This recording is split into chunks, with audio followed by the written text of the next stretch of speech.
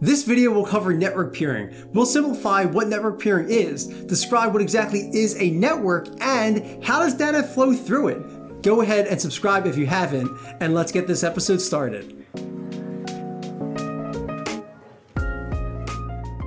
The internet isn't just one big network. It's actually a series of multiple networks combined together. At its core, a network is made up of two or more connected computers which can share resources like printers and other devices in your home. In 1970, the internet was structured as a cluster of computers, seen here, which were usually just different colleges with connected computers. So there was one cluster of computers here and another over here. What made them a network was when we created a wired connection so that the computers here could talk to the computers here. So what is network peering? Well, to put it simply, network peering is the exchange of internet traffic between different networks. The peering aspect here is a method used by companies that allows two different networks to connect and exchange traffic directly without having to pay a third party to carry the traffic.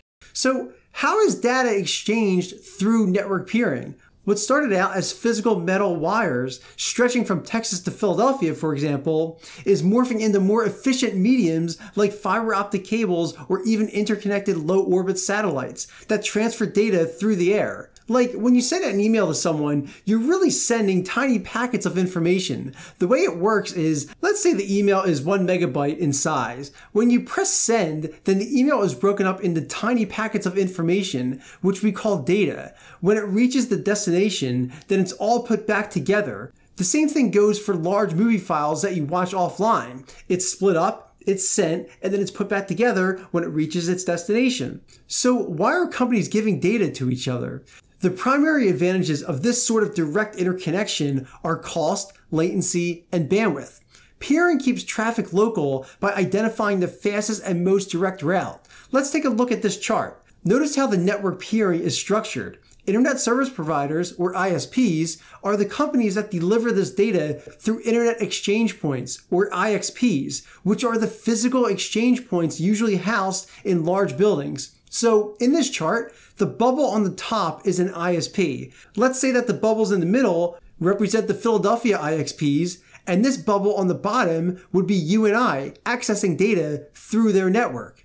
There used to be a master provider that acted as the middleman, but the two providers came up with an agreement and they decided, hey, we could just cut out the middleman and work with each other for free. So now when customer one wants to talk to customer two, they have to go through the internet service provider and the IXP.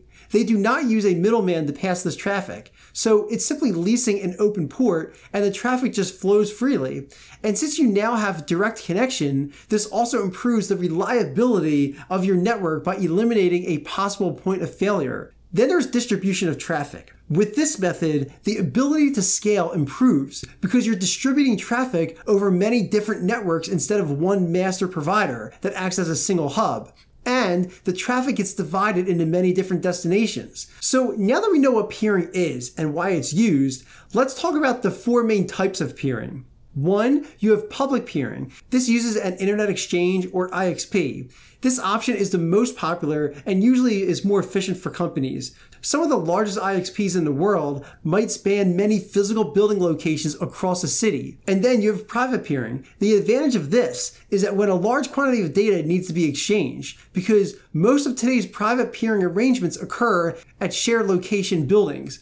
Private peering interconnections make up most of the traffic on the internet, especially between the largest networks. Okay, so the third one is you have partial peering. And this is also called regional peering. This network traffic is only exchanged in one isolated area of the globe. And finally, you have paid peering. This is also called partial transit. This entails for one network to pay the other network to participate in the arrangement. So where and how do networks peer with each other? Well, individual networks can find dozens or even hundreds of other networks that want to peer with them. The more exchange points that a peer provider has, then the more valuable that they become. It's sort of like critical mass, where the most popular ones become more popular because they're already so popular.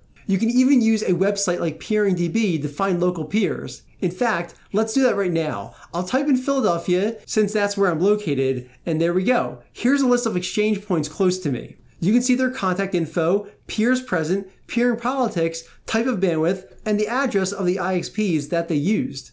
So to recap, 1. Network peering is simply just an exchange of network traffic between two established networks. 2. Internet service providers and broadband providers are sort of interchangeable in today's terminology. ISP refers to the company, and broadband is the speed of internet that those companies provide. Since broadband is currently the standard, then an internet provider and broadband provider are sort of interchangeable.